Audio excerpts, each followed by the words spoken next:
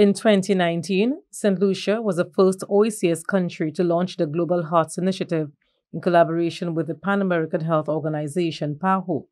The goal of the Global Hearts Initiative is to reduce premature deaths from cardiovascular diseases in target countries by supporting governments around the world to scale up efforts on the prevention and control of non communicable diseases such as strokes and heart attacks.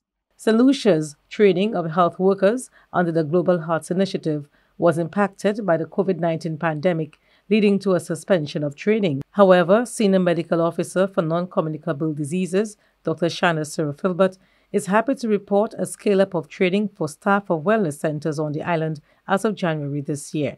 Every letter in HEARTS speaks to a particular module which is aimed at improving high blood pressure control, blood sugar control, and an overall just cardiovascular risk. Mm-hmm. And today we're here because we started as a country. St. Lucia signed on to the HEARTS initiative in 2019, in October 2019, and we launched HEARTS because we thought it very valuable for our country.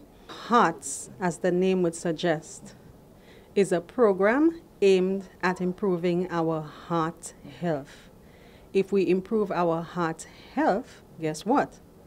The whole body is healthy because our heart is the you know major pump and controls lots of things in our body. Okay, and the, the, the, the slogan for our hearts in St. Lucia is happy, happy hearts, healthy nation.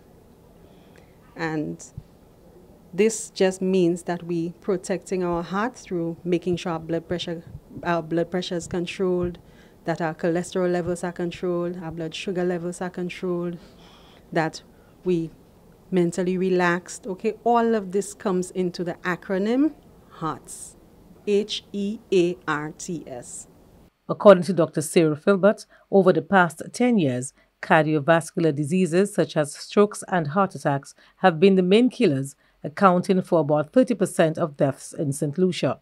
Recently, representatives of 12 wellness centers underwent training in capacity building, and according to Dr. Cyril Filbert, the ministry intends to train more staff as part of efforts to improve the quality of health, thus a reduction in cardiovascular events and hospitalization. One of the things we're also targeting is that patients should not just everybody come at once, but come to the health center at a time when you get your slot of time with the physician and the nutritionist and so on. So, so this is one of the things we want to see, especially in this year. We want a multidisciplinary team and we want patients not expecting that when they come to the health center, they just come and grab a prescription because that is not what we, we want to improve that. We want more than just a prescription. We want counseling. We want patients to actually have a holistic experience.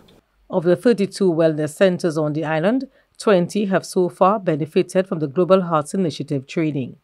From the Communications Unit of the Ministry of Health, Wellness and Elderly Affairs, Julita Peter reporting.